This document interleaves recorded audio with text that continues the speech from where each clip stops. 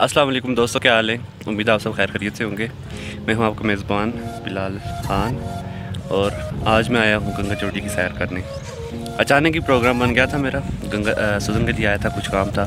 تو چلتے چلتے میں گنگا چوٹی آ گیا ہوں فائنلی تو آپ کو میں مزید کچھ نظارے کرواؤں گا گنگا چوٹی کے۔ تو میرے ساتھ رہیے گا۔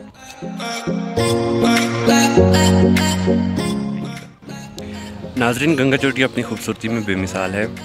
یہ ضلع باغ کے چند ایک خوبصورت سیاحتی مقامات میں سے ایک ہے، جہاں ہر سال ہر سال کیا ہر مہینے لاکھوں ہزاروں کی تعداد میں لوگ سیر کرنے کے لیے آتے ہیں اور صرف کشمیر سے ہی نہیں بلکہ پاکستان سے بھی لوگ اس مقام کی سیر کے لیے آتے ہیں۔ تو آج بھی کافی لوگ آئے ہوئے ہیں، یہاں پہ موسم بھی کافی خراب ہے، دھند پڑی ہوئی ہے اور بارش بھی ہوئی تھی تھوڑی دیر پہلے۔ لیکن اس کے باوجود سیاحوں کی ایک بڑی تعداد یہاں پہ آئی ہوئی ہے۔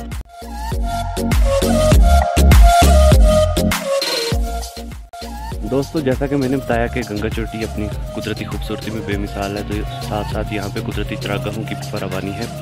یہاں پہ جو مقامی لوگ ہیں ادھر کے، یہاں کے منسلک جو دیہات ہیں برفانی سودن گلی، چھتر اور ساتھ بنی مناسم اور دوسری سائڈ پہ، چکار والی سائڈ سے کچھ لوگ یہاں پہ آ کے آباد ہوتے ہیں اور اپنے مال مویشیوں کو یہیں پہ لے آتے ہیں اور یہاں پہ لوگوں کی ہم نے اپنی زبان میں بیکنگ کہتے ہیں مطلب ان کے جو دادا وراثت اس طرح سے کچھ جو زمینیں ہوتی ہیں وہ یہاں پہ ہیں تو وہ اپنے مال مویشی لے کے تو کچھ مہینوں کے لیے یہاں پہ آ جاتے ہیں اور مال مویشیوں کی پرورش بھی اچھے سے ہو جاتی ہے، قدرتی چراگاہوں کی وجہ سے۔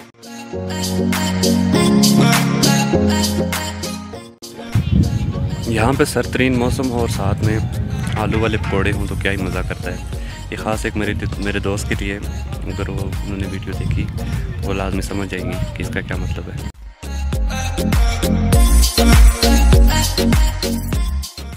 دوستو، جہاں تک سہولیات کی بات کی جائے، تو یہاں پہ کچھ ہی مطلب میرے خیال سے چار سے پانچ سال ہو گئے تو یہاں پہ پکی سڑک بن چکی ہے۔ تو سڑک کے لیے کوئی پریشانی نہیں ہے کہ کہیں راستہ خراب ہوگا یا کچھ بھی۔ تو سڑک کی پریشانی کچھ نہیں ہے اچھا راستہ بنا ہوا ہے۔ باقی سہولیات کا ذکر کروں تو یہاں پہ گنگا چوٹی پہنچنے سے پہلے ایک سدن گلی جگہ آتی ہے۔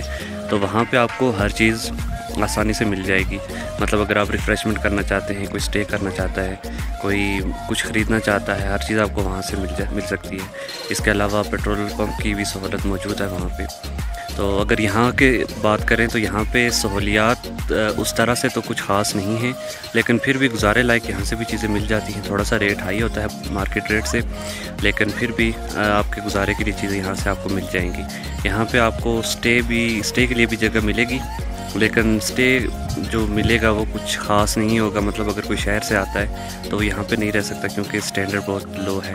یہاں پہ کوئی بڑی انویسٹمنٹ بھی نہیں ہوئی بھی کہ یہاں پہ کچھ فور سٹار یا کچھ بھی ہوٹل وغیرہ بن سکے کہ جہاں پہ شہر سے آنے والے لوگوں کے لیے کچھ رہائش کا مناسب بندوبست ہو۔